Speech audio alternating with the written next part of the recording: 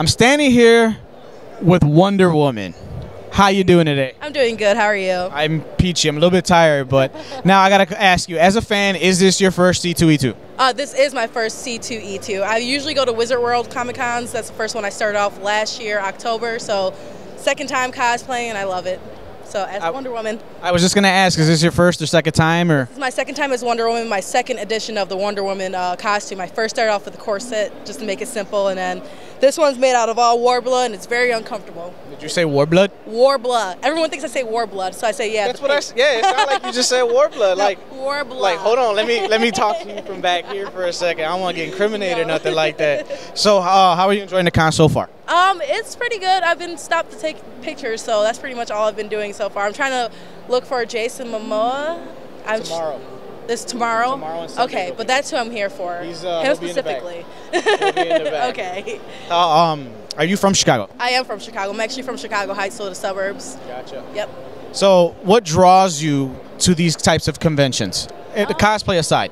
Cosplay aside, I am a big comic book fan, so I love comic books and, and uh, uh, the entertainers that also come here.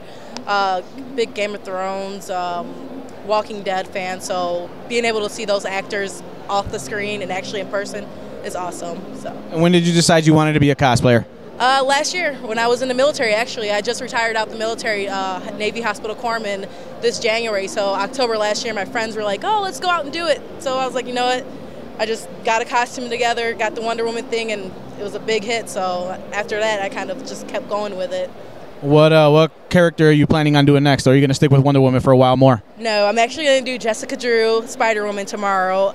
I'm debating on tomorrow, Sunday, because I might do uh, Wonder Woman twice a day tomorrow, and then do uh, Jessica Drew Sunday. So, trying to debate because I still have to get the Spider Woman outfit together. I have to sew some things together so it doesn't pop out like this one. little last minute, no? yep, last minute. It took me a week to get it all together, and I haven't sewn used a sewing machine in six years. So, I was like, you know what? Let me just try.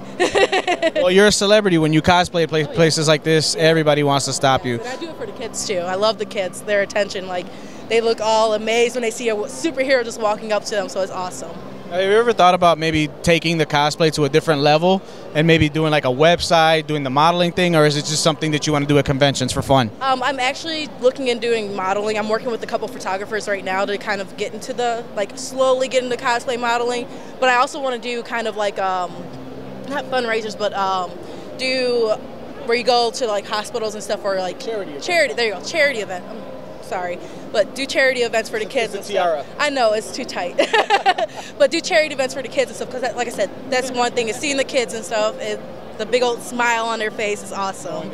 Oh yeah, and I'm totally out of character when I do this because if you saw me on the streets, I wouldn't be acting the way I do today. I'm I'm outgoing, but not too outgoing. So It comes with the territory. Oh, yeah. This is like the one time a year you could just let go and, yeah. you know, enjoy it and be a geek and get away with it. there you go. You know, so uh, well, I hope you enjoy the rest of the weekend. Try not to lasso anybody and try to keep the costume intact. All right. thank Thanks, you. guys.